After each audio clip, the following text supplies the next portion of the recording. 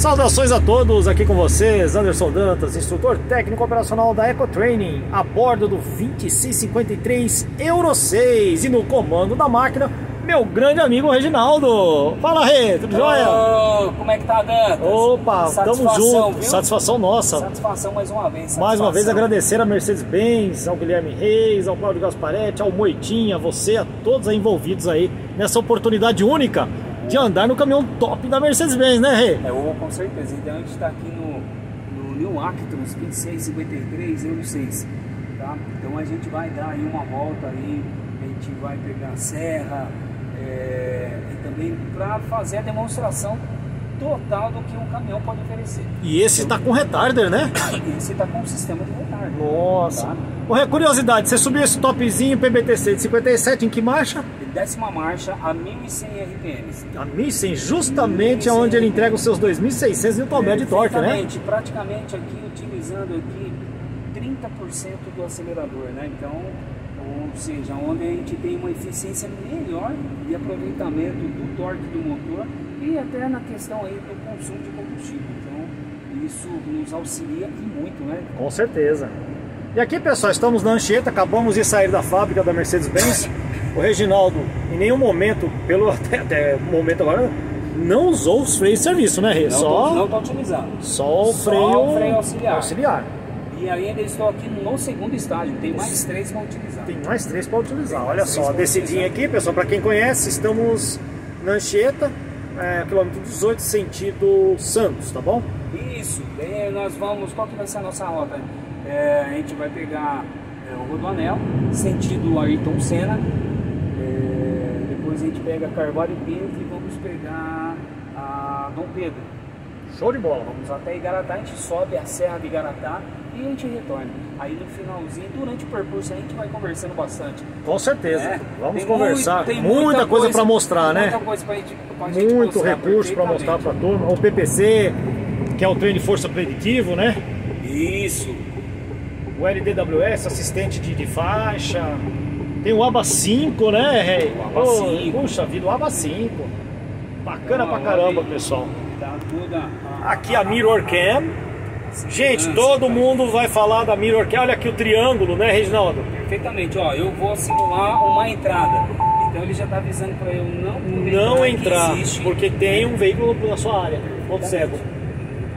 Cara, é, é simplesmente fantástico, né? Toda essa tecnologia em prol da segurança, né, Reginaldo? Se a gente for analisar assim, de pegar um contexto geral, é, praticamente acabou o ponto cego Acabou. do, do- É, lógico que, acabou. é, que a atenção Sim, ainda sim, sim. total é do O motorista. motorista faz diferença. Toda, Né? toda, né? Com certeza. Ou, ou seja, então é, temos um sistema para nos auxiliar, né? Então isso é, a gente não pode esquecer nunca. Com certeza. É, é uma máquina, né? É. É uma máquina. E aqui, pessoal, estamos na rodovia Anchieta, São Bernardo do Campo, por enquanto, né, Rê? E São Bernardo do Campo. Aqui, ó, mais uma vez a, a Mirror Cam. Olha só que bacana. Ó, mais uma simulação, Olha lá. ó. Se eu fosse entrar agora. Se você fosse entrar, ela já. E Isso, olha, ó, o triângulo amarelo Isso, é. te alertando que tem um uma- veículo no, no seu ponto cego. Uma advertência. Uma advertência. Isso. Cara, é simplesmente fantástico. E para aqueles que eram contra. Gente, vocês não estão tendo a noção de como minha visibilidade aqui, ó, sem aquela, aquela caixa plástica do retrovisor, como melhora a visibilidade da gente, né, Reginaldo? Muito, muito. Nossa E Senhora. Isso eu falo para você desde quando é, a primeira vez que eu peguei esse sistema da Mirror Can, é, pessoal, não passa de 40 minutos para você se, Se adaptar. Não passa, não passa. Até em questão de manobra, é, na rodovia, então até na questão da aerodinâmica também, né? Então ele ajuda bastante também, né, Dan? Show de bola, É, muito bom. É, a questão aerodinâmica, disso, né? É verdade, a questão aerodinâmica. Porque aquela caixona também oferece resistência, né? É, Com certeza. Bem lembrado, viu, Reginaldo? Bem então, lembrado. Isso, isso, isso ajuda bastante no, no- resultado final. E a ergonomia também, né? A regulagem da, da coluna de direção melhorou bastante em relação ao Muito, antigo, né? Muito, muito, muito. Temos aí, é aquilo lá, é todo. A Mercedes-Benz ela pensa muito né, no motorista, nessa questão da ergonomia principalmente. Então nós temos também o sistema dos bancos, tá? Que o banco ele faz massagem, né? Faz massagem? Faz massagem. Ah, meu Deus! Tanto para o motorista como para o acompanhante. Olha só, gente, que Então, luxo! Ele, ele é um sistema que ele vai, né, passar isso aí pra gente. Então, Que luxo! né, daí durante aí a viagem aí, a gente vai fazendo é, todas essas é, demonstrações aí do, do banco. Então isso aí ajuda bastante também, né? Com certeza. Você havia falado, né, na- naquela primeira demonstração ali que a gente fez com o veículo parado, você à noite você prefere deixar uns LEDzinhos acesos para deixar a pupila dilatada.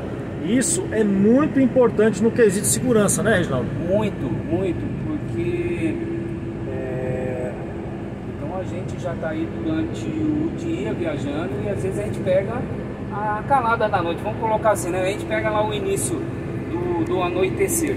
Então a pupila ela não vai estar ali delatada, tanto é que na hora que, que a gente encontra um outro veículo de frente, mesmo ele estando com o farol baixo, a gente é, é, tem aí uma certa irritação no olhar.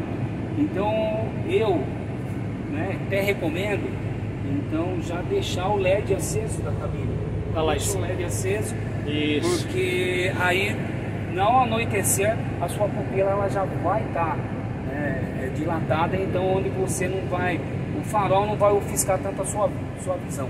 então certeza. isso ajuda também. Ajuda Até foi bastante. pensado. até nisso. Bacana, né? É. É muito importante, pessoal, a gente focar um pouco na segurança, um pouco não, bastante na segurança. Porque o Actros ele tem muitos recursos de segurança ativa. O que é segurança ativa? Eu já falei no canal, pessoal. Segurança ativa são os recursos que o veículo oferece para evitar um acidente, não é mesmo, Reginaldo? É, perfeitamente. Pra, a, a, a ideia de tudo isso é, é isso aí, né? E realmente evitar o acidente. Evitar o acidente. Com certeza. E estamos aqui. Vou finalizar essa primeira parte para deixar com vocês com água na boca para os próximos vídeos que virão, né, Reginaldo? A gente vai Opa! falar de PPC, vamos Ah, falar do retarder. É só fazer uma simulação aqui, se eu for pegar uma faixa, né? Ah.